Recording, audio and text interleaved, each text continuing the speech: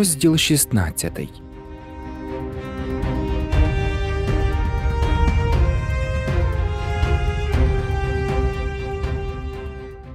Ні.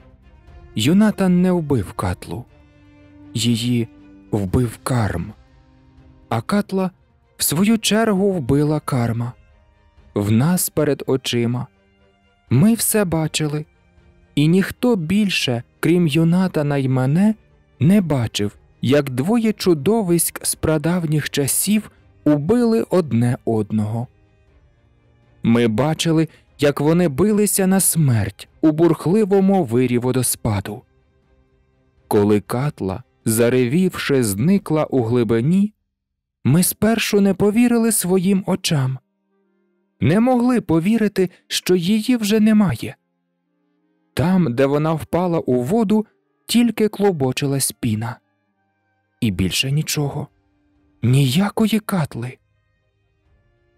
Та потім ми побачили карма. Він підвів зелену голову з води, збиваючи хвостом піну. О, він був жахливий, той велетенський змій, завдовжки від берега до берега, такий самісінький, як казала Ельфріда. Великий змій з водоспаду карма, про якого вона чула казку ще дитиною тепер виявився такою ж дійсністю, як катла. Він справді жив у водоспаді, таке саме страховисько, як і дракониця. Змій повертав голову на всі боки, шукаючи когось, і враз побачив катлу, що виринула з глибини посеред водоспаду. Він метнувся до неї і обкрутився навколо її тіла. Катла дихнула на нього своїм смертельним вогнем. Проте Змій так стиснув її, що вогонь той погас у її грудях. Тоді катла почала бити його, а Змій її. Вони вчепилися одне в одного у смертельному двобої. Мабуть, вони з прадавніх часів шукали цієї зустрічі і тепер лупцювали одне одного, кусали, дерли, мов навіжені, а їхні страхітливі тіла сплітались у вирі водоспаду. Катла раз по раз ревіла, а карм змагався безмовно. Чорна драконяча кров і зелена Змієва змішувались з білою піною, і вона ставала темна і негарна. Скільки тривала та боротьба, не знаю. Мені здавалося, що я стояв на тій стежці тисячу років і не бачив більше нікого, крім двох потвор у смертельному двобої. Так, двобій був довгий і моторошний, та врешті і він скінчився. Катла востаннє розпачливо заревіла і замовкла. Карм тоді був вже без голови, але його тіло міцно оплелось навколо катли, і вони зникли, наче їх ніколи і не було. Піна знов побіліла, отруйну кров чудовиськ змило могутнім валом водоспаду. Все стало таке, як колись, як було з давніх давен. Ми стояли на стежці і мовчали. Нарешті Юнатан сказав Нам треба вибиратися звідси якнайшвидше. Скоро зовсім стемніє, а я не хочу, щоб нас застукала ніч у карманяці. Бідолашній грім і ф'ялар. Не знаю, як нам пощастило підвести їх. Вони були такі стомлені що на силу переставляли ноги. Але ми залишили карманяку і востаннє переїхали через міст. Далі наші коні просто не змогли йти. Тільки ми досягли другого берега, вони зупинились і полягали. Мабуть, подумали ми вас довезли до Нангіяли, і з нас досить. Заночуємо на давньому місці, сказав Юнатан. Він мав на гадці ту кручу, з якої я вперше побачив катлу. Я здригнувся, згадавши про це. Краще було б знайти якесь інше місце. Але ми не могли їхати далі. Насамперед треба було напоїти коней. Ми дали їм води, але вони не схотіли пити. Я стурбувався. Юнатане, з ними діється щось дивне. Ти вважаєш, що їм стане краще, коли вони посплять? спитав я.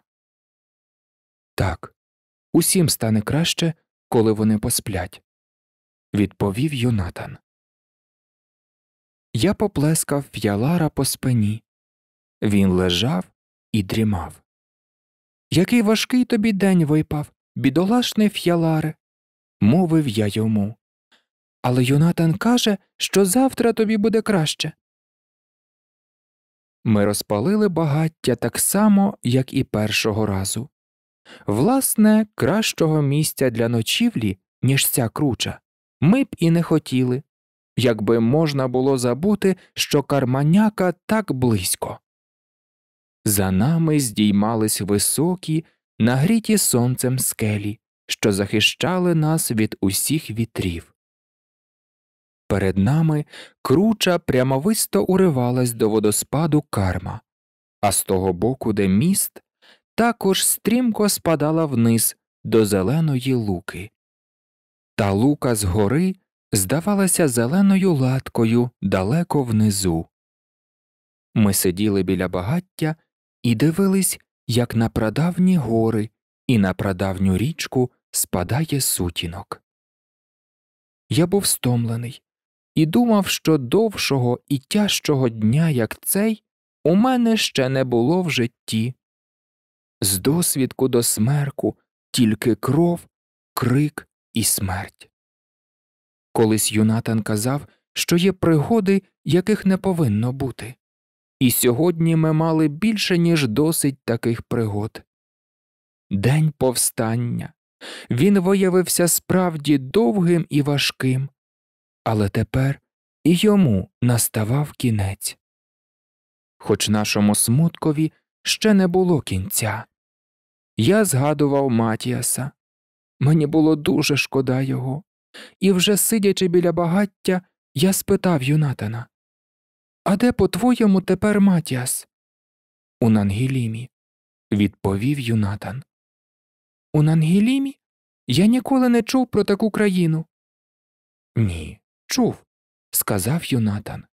Ти хіба забув той ранок, коли я виїздив з вишневої долини і залишив тебе такого наляканого? Не пам'ятаєш, як я казав, що коли не повернусь, то ми зустрінемось у Нангілімі? Тепер Матіас там. І він почав розповідати про Нангіліму. Він уже давно нічого не розповідав мені, нам не було коли. А тепер сидів коло багаття і змальовував Нангіліму, неначе ми знов були в місті, і я лежав на канапі. У Нангілімі почав Юнатан таким тоном, яким завжди починав свої розповіді. В Нангілімі ще й досі триває доба табірних багать і казок. Бідний Матіас, коли там повно пригод, яких не повинно бути, мовив я. Проте Юнатан пояснив мені, що в Нангілімі немає сумних і жорстоких пригод, там тепер доба радісних ігор і розваг. Там люди розважаються.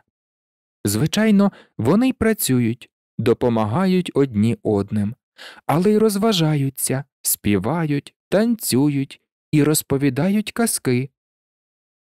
Іноді вони лякають дітей справді моторошними, страшними казками про такі чудовиська, як катла, і про таких жорстоких людей, як Тенгіл, але потім сміються і додають Не бійтеся, це лише казка. Насправді такого ніколи не буває, ніколи, принаймні в наших долинах. Матіасові дуже добре в Нангілімі, сказав Юнатан. Він має старовинну садибу в Яблуневій долині, найкращу садибу в найкращій і найзеленішій долині Нангіліми. Скоро настане пора обривати яблука в його садку. Нам би треба було помандрувати туди і допомогти йому, бо він надто старий, щоб лазити по деревах. Я б також був майже радий, щоб ми помандрували туди, сказав я, бо з його слів Нангеліма подобалась мені, і я дуже тужив за Матіасом. От бачиш, мовив Юнатан, ми могли б оселитися в Матіаса, в Матіасовій садибі, в Яблуневій долині Нангеліми. Розкажи, що б ми там робили? попросив я. О, нам було би добре, відповів Юнатан. Ми їздили б лісами, розташовувалися б на ніч у мальовничих місцях. Якби ти знав, які там ліси, і посеред них повно невеличких чистих озерець. Ми могли б спинятися на ніч біля озерця, щовечора біля іншого, мандрували б собі по кілька днів і ночей, а потім поверталися б до Матіаса. І допомагали б йому обривати яблука, додав я. Але ж тоді Софії й Урварові довелося б порядкувати долинами Нангіяли без тебе, Юнатане. Ну то й що? мовив Юнатан. Я їм більше не потрібний. Вони самі дадуть лад у своїх долинах. Юнатан замовк, неначе не мав уже про що розповідати. Ми обидва мовчали. Я стомився, і на душі в мене було зовсім невесело. Хіба могла мене втішити розповідь про Нангеліму, що була так далеко від нас? Сутінки дедалі густішали, і гори ставали темніші. Над нами літали великі чорні птахи і жалібно кричали. Все навколо навівало сум. Водоспад карма шумів, не вгаваючи ні на хвилину. Я вже не мав сили його слухати. Він весь час нагадував мені про те, що я хотів забути. Все було напоєне сумом, і здавалося, що я вже ніколи не радітиму. Я присунувся ближче до Юнатана. Він сидів притихлий, прихилившись спиною до кам'яної стіни, і обличчя в нього було бліде. Він і тепер скидався на казкового принца, але блідого і втомленого. Бідолашне юнатане, подумав я, тобі також не весело. О, якби я міг хоч трохи розвеселити тебе. Ми довго сиділи мовчки, і раптом Юнатан мовив Слухай, Хрущику, я повинен тобі щось сказати. Мене відразу охопив страх, бо коли він так звертався до мене, то завжди казав щось сумне і неприємне. Що ти повинен сказати? спитав я. Він провів пальцем по моїй щоці. Тільки не лякайся. Ти пам'ятаєш, що казав Урвар, що найменшого омаху катленого вогню досить, щоб у людини відібрало руки й ноги, і щоб вона померла. Пам'ятаєш, як він казав це? Пам'ятаю. Але чого ти завів про це мову? спитав я. Того, що Йонатан затнувся, того, що омах катленого вогню опік мене, коли ми тікали від неї. У мене цілий день боліло серце від того страху й горя, але досі я не плакав. А тепер просто заридав. Ти знову помреш, Юнатане. крикнув я. Ні. Але було б краще, якби я помер, бо я більше ніколи не зможу рухатися. Він пояснив мені, чим такий страшний катлин вогонь. Інколи він не вбиває відразу, а робить щось гірше. Він пошкоджує щось усередині в людині, і вона стає нерухома. Спершу цього не помічаєш, але хвороба підкрадається поволі і неухильно. Тепер я можу ворушити ще тільки руками, сказав Юнатан. Але скоро і ними не зможу. І це не минеться? спитав я крізь плач. Ні, хрущику, ніколи не минеться, відповів Юнатан. Хіба що він перейшов би в Нангіліму? О, тепер я збагнув. Він знову хоче залишити мене самого. Так я й знав. Раз він уже втік був у Нангіялу без мене. Але вдруге ти не втечеш. крикнув я. Не підеш у Нангіліму без мене, не кинеш мене самого. То ти хочеш піти зі мною? спитав він. Хочу. А ти як думав? Хіба я не казав тобі, що хоч би ти куди пішов, то й я за тобою? Казав, і мене тішать твої слова, відповів Юнатан. Але потрапити туди не так легко. Він трохи помовчав, а тоді додав Ти пам'ятаєш, як ми колись стрибнули з тобою? Той жахливий випадок, коли все горіло, і ми вискочили з вікна на подвір'я. Тоді я полинув у Нангіялу. Пам'ятаєш? Ще пак, відповів я і ще дужче заплакав. Навіщо ти питаєш? Думаєш, я не згадую про це відтоді кожної хвилини? Так я й знав, що згадуєш, відповів Юнатан і знов погладив мене по щоці. А тоді сказав Мені здається, що ми могли б стрибнути ще раз з цієї кручі. Так, тоді ми помремо, сказав я. Але чи ми потрапимо в Нангіліму? Потрапимо, будь певен, відповів Юнатан. Тільки но ми досягнемо луки, як побачимо світло Нангіліми, світанок над Нангілімою, бо там тепер починає світати. Виходить, ми стрибнемо просто в Нангіліму, засміявся я вперше за довгий час. Так, відповів Юнатан. Тільки но ми досягнемо луки, як побачимо просто перед собою стежку до яблуневої долини. Там стоятимуть уже грім і ф'ялар і чекатимуть на нас. Нам доведеться тільки сісти в сідло і поїхати, поскакати. І ти зможеш рухатися? спитав я. Так, моя хвороба залишиться тут, і я знов буду бадьорий і радісний. І ти теж, хрущику, ти теж будеш радісний. Стежка в яблуневу долину біжить через ліс.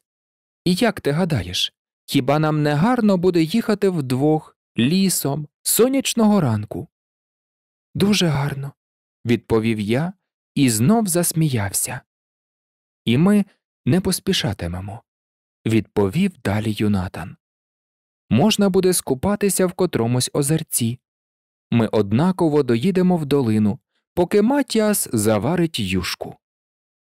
Як він зрадіє, коли ми приїдемо, сказав я. І враз мене приголомшила одна думка про гріма і ф'ялара. Що Юнатан вигадує? Як ми зможемо їх забрати до Нангіліми? Навіщо ти кажеш, що вони там чекатимуть на нас? Адже вони лежать і сплять. Вони не сплять, хрущику. Вони мертві. Їх убив Катлин вогонь. А те, що ти бачиш тут, тільки їхня оболонка. Повір мені, Грім і ф'ялар уже в Нангілімі і чекають на нас. То поспішімо, сказав я, щоб вони не чекали. Йонатан глянув на мене і усміхнувся. Як же я поспішу? сказав він.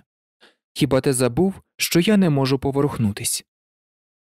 І тоді я збагнув, що маю робити.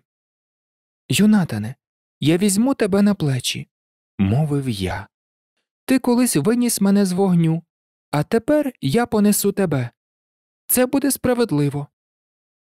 Так, це буде справедливо, відповів Юнатан. Але чи ти зважишся хрущику лев'яче серце? Як ти гадаєш? Подумай но гарненько. Я підступив до краю і глянув униз. Уже стемніло. Видно було не дуже добре. Та однаково провалля було таке глибоке, що в мене запаморочилось у голові. Коли ми стрибнемо туди, то напевне обидва опинимось у Нангілімі. Жодному з нас не доведеться лишатись самому, журитися, плакати і боятися. Але стрибати мали не ми, а я. Юнатан казав, що не так легко опинитися в Нангілімі, і тепер я збагнув чому. Як я зважуся стрибнути? Як я зважуся на будь що? Так, якщо тепер не зважишся, то будеш тільки грудкою гною, і більше ніколи не станеш чимось іншим, думав я. Я обернувся до Юнатана і сказав Так, я зважуся. Любий, відважний хрущику, зрадів він. То стрибаймо негайно. Я спершу хочу посидіти біля тебе, відповів я. Тільки недовго, мовив Юнатан. Ні, я посиджу, поки зовсім стемніє, щоб нічого не видно було. Я сидів біля Юнатана, міцно тримав його за руку і відчував, який він дужий і добрий. Поряд із ним нічого не страшно. Нарешті на Ангіялу, її гори, долини і річку огорнула ніч. Я стояв над проваллям, тримаючи на спині Юнатана. Він міцно обхопив мене руками за шию, і я відчував, як він дихає ззаду в моє вухо. Дихає зовсім спокійно, не те, що я. Юнатане, братику мій, чому я не такий відважний, як ти?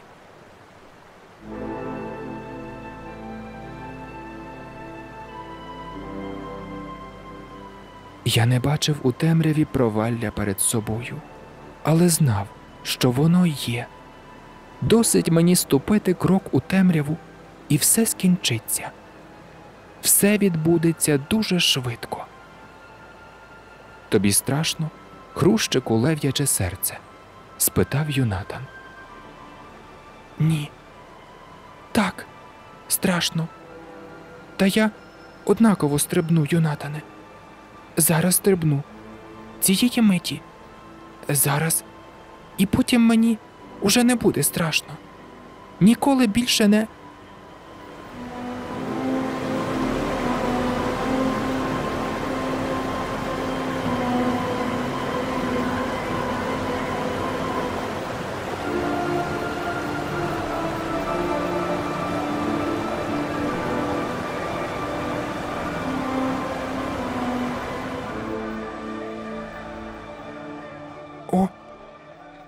Нанхіліма.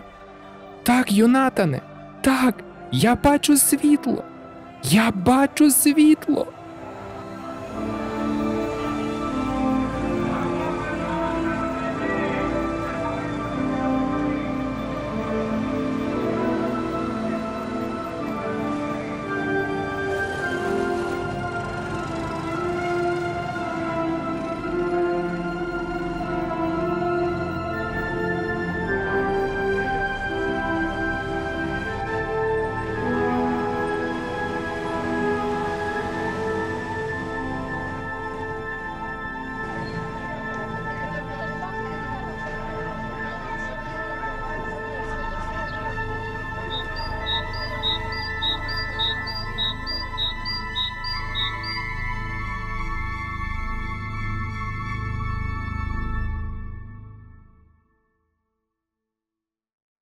Кінець повісті Астрід Лінгрен Брати Лев'яче серце. Для вас і для малих пінгвінів читав характерник. Запис здійснено у лютому 2022 року. Якщо вам подобаються мої аудіокниги, можете підписатися на канал із ними на Ютубі.